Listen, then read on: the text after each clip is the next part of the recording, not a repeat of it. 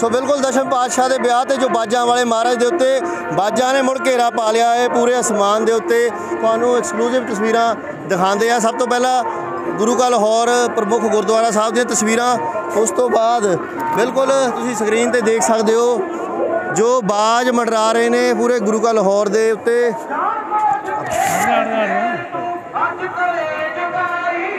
ਆ ਦੇਖ ਤੈਨੂੰ ਆਦਾ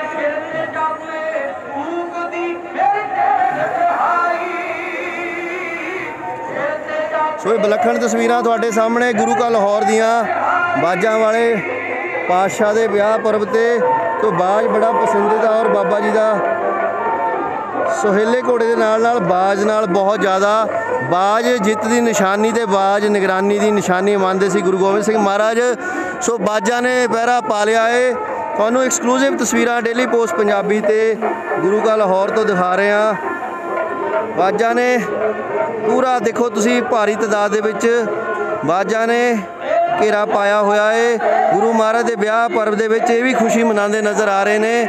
ਅਸਮਾਨ ਦੇ ਵਿੱਚ ਦੂਰ ਦੂਰ ਤੱਕ ਉਡਾਰੀ ਆ। ਉੱਥੇ ਹੀ ਤੁਹਾਨੂੰ ਮੈਂ ਹੋਰ ਤਸਵੀਰਾਂ ਦੱਸਾਂਗਾ। ਬਿਲਕੁਲ ਬਿਲਾਸਪੁਰ, ਹਿਮਾਚਲ ਦੀਆਂ ਉੱਚੀਆਂ ਪਹਾੜੀਆਂ ਤੇ ਸੰਗਤਾਂ ਉੱਪਰ ਉੱਪਰ ਤੱਕ ਪਹੁੰਚ ਗਈਆਂ ਹੈ ਨ- ਥੱਲੇ ਲੱਖਾਂ ਦਾ ਇਕੱਠ ਹੈ। ਤੁਹਾਨੂੰ ਉਹ ਵੀ ਤਸਵੀਰਾਂ ਦਿਖਾਉਂਦੇ ਆ। ਉੱਤੇ ਬਾਜਾਂ ਦਾ ਪਹਿਰਾ ਏ।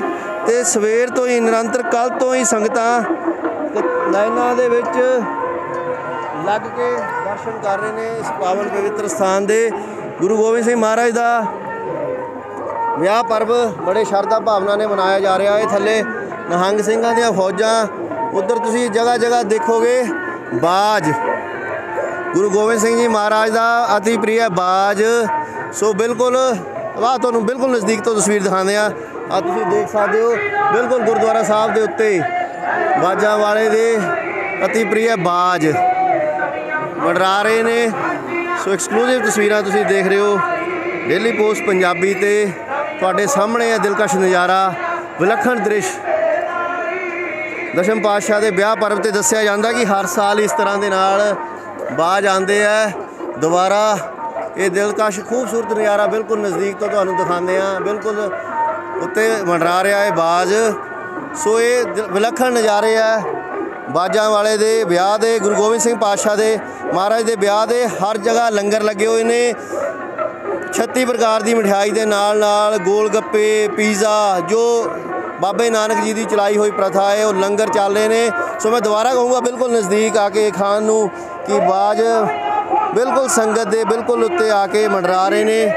ਦੁਪਹਿਰ ਦਾ ਸਮਾਂ ਹੈ ਤੇ ਦਿਲਕਸ਼ ਨਜ਼ਾਰਾ ਬਣਿਆ ਹੈ। ਸੰਗਤ ਦੇਖ ਰਹੀ ਹੈ ਉੱਪਰ ਜਗਾਰੇ ਵੀ ਛੱਡੇ ਜਾ ਰਹੇ ਨੇ। ਸੋ ਇਹ ਰਮਣੀਕ ਔਰ ਦਿਲਕਸ਼ ਨਜ਼ਾਰੇ ਡੇਲੀ ਪੋਸਟ ਪੰਜਾਬੀ ਤੇ ਤੁਹਾਨੂੰ ਦਿਖਾ ਰਹੇ ਹਾਂ। ਤੁਹਾਡੇ ਸਾਹਮਣੇ ਤਸਵੀਰਾਂ ਬਾਜ ਹੀ ਬਾਜ ਆ ਗਏ ਨੇ ਗੁਰੂ ਕਾ ਲਾਹੌਰ ਦੇ ਉੱਤੇ। ਸੋ ਤੁਹਾਨੂੰ ਸਾਰੀਆਂ ਰਿਪੋਰਟਾਂ ਦਿਖਾਉਂਦੇ ਰਹਾਂਗੇ ਫਿਲਹਾਲ।